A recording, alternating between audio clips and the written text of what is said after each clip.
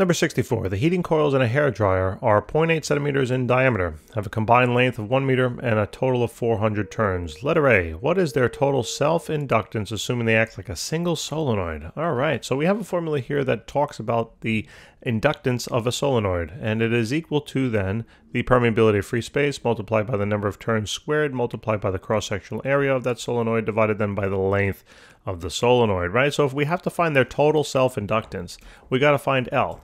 In order to find L, we got to know all these variables. And fortunately, we do, right? So the permeability of free space is 4 pi times 10 to the minus 7th. We've seen that before. The total number of turns here is 400. You got to square it. The cross-sectional area then is going to be, it told us 8 centimeters in diameter. You know we need that in meters. Well, we need that in meters, and we got to take half of it. Because the area of a circle, which that's what a solenoid is, right? It's a series of circular loops, is going to be pi times the radius. So half of that diameter, but then we got to convert that into meters. So that's why I multiply by 10 to the minus 2. Don't forget to square it. And then divided then by the length. It's 1 meter. So good. We don't really have to technically divide it mathematically. So there's going to be 4 pi times, oop, that's 4e, 4 pi. All right, times 10 to the minus 7th, multiplied then by 400 squared, multiplied then by pi, multiplied then by 0.4 times 10 to the minus 2 squared.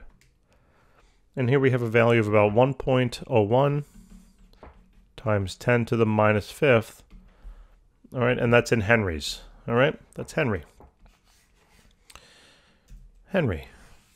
Sounds like such a happy name. Henry.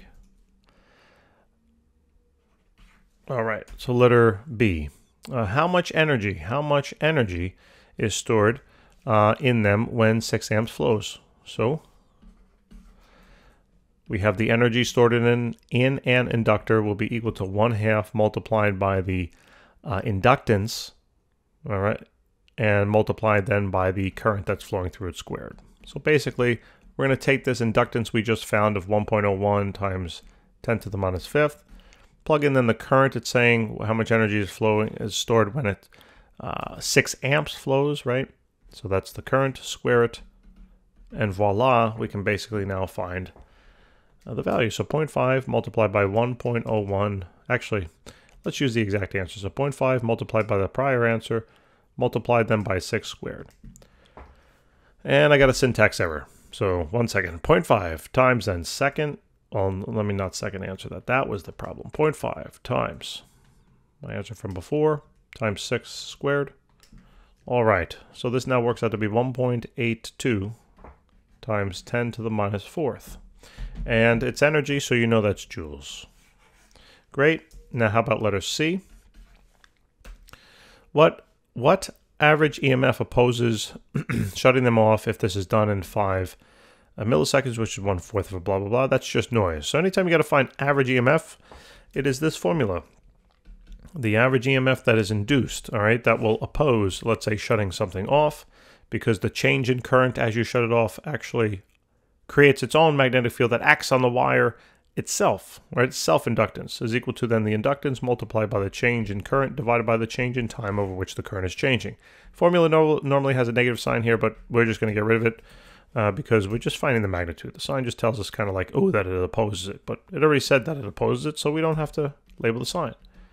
So EMF is going to be that uh, inductance we found, 1.01 times 10 to the minus fifth, multiplied by the current was 6 amps, divided by the time. That's in milliseconds. You know we need that in seconds, so multiply that by 10 to the minus 3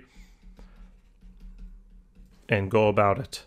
So here, let's take that inductance, multiply it by 6 divided by 5 times 10 to the minus 3.